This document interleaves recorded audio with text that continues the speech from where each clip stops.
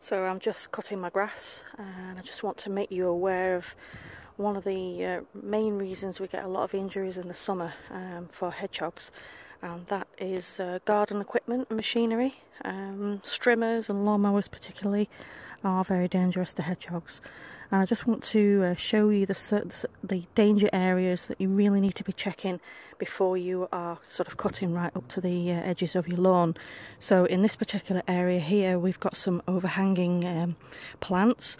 And this is a particular favourite area for hedgehogs to just rest during the day. And there could be a high possibility that a, a hedgehog will be um, asleep under these sorts of bushes that are overhanging the garden. So when you come to cut your grass or use a strimmer, it's really important that you just take five minutes to check underneath. So we're just going to have a quick look under here. You wouldn't know unless you lift these bushes up, but there we've got a little hedgehog just to illustrate the sort of thing that I mean. So please just take a few minutes to lift the, the, uh, the plants at the edge of the garden before you cut the grass in these areas. Again, over here we've got overhanging uh, plants. So just quickly, you know, lift them up. And there we've got another hedgehog um, fast asleep, curled up. The problem is with hedgehogs, their natural defence is to curl up. So even if they hear a lawnmower coming, they won't run away. They'll just curl up in a ball. Um, and some of the most horrific injuries we see at the rescue or hedgehogs that have had um, their faces slashed open, their legs cut off. You know, I won't go into more graphic detail than that, but they are the worst injuries we see. Um, so please, you know, before you use any garden equipment, just check around the edges just to make sure that you haven't got any hedgehogs that are sleeping underneath the bushes and hedges.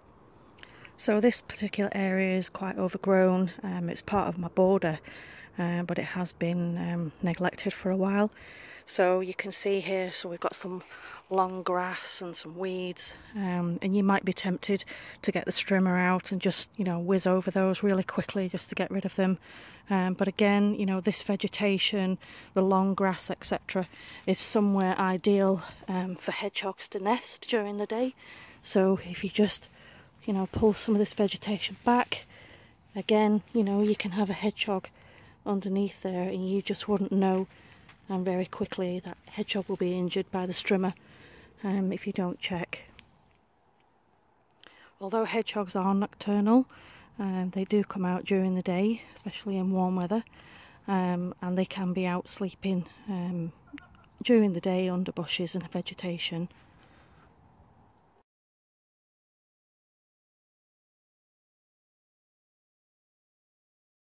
I know these images are difficult to look at, but this is the reality of what we deal with at the rescue on a daily basis throughout the spring and summer months. Sadly, many of the hedgehogs that arrive at rescues around the UK with strimmer injuries have to be put to sleep because their injuries are just too severe. On a positive note, here are two success stories. The hedgehog on the left lost part of its nose, but after treatment has made a full recovery. The one on the right arrived at the rescue with a huge gash down the length of its back.